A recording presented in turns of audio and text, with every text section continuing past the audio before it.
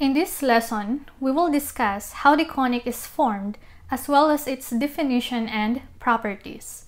A conic section, or simply conic, is formed when a plane intersects a double right circular cone. We have the upper nappe and the lower nappe. A line lying entirely on the cone is called generator. And the point where the generators intersect is the vertex. The vertical line passing through the vertex is called the axis of the cone. And these are the parts of a right circular cone. There are two types of conics. We have degenerate conic, which has a point, a line, or two intersecting lines. The point, line, and two intersecting lines are obviously not curves, but are also possible results of the intersection of the plane and the double right circular cone. On the other hand, non-degenerate conic is either a parabola, a circle, ellipse, or hyperbola.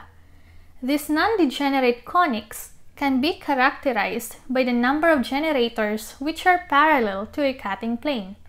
Remember, generators are lines lying on the cone. A parabola is formed if the cutting plane is parallel to one and only one generator. This plane is parallel to only one generator. Therefore, the curve of intersection is called a parabola. But if the cutting plane is not parallel to any generator, this plane is not parallel to two generators, therefore, the curve of intersection is an ellipse. On the other hand, if the cutting plane intersects a double-napped cone and is parallel to two generators, the curve of intersection is hyperbola. We have a circle if the cutting plane is parallel to no generator, and again, this plane is not parallel to any generator, but this plane is perpendicular to the axis of the cone. That is why we have a circle. So those are the non-degenerate conics.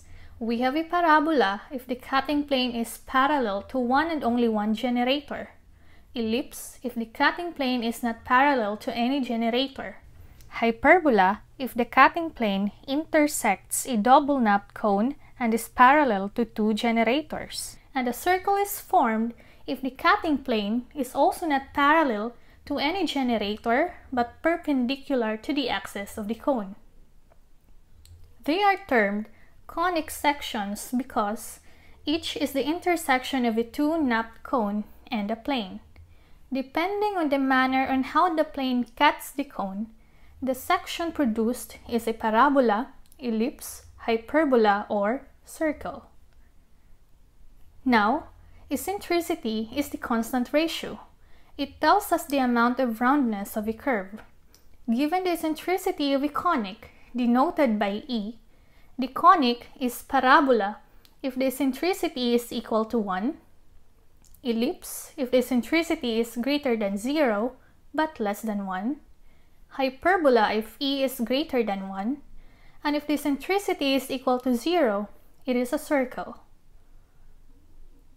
History about conic sections.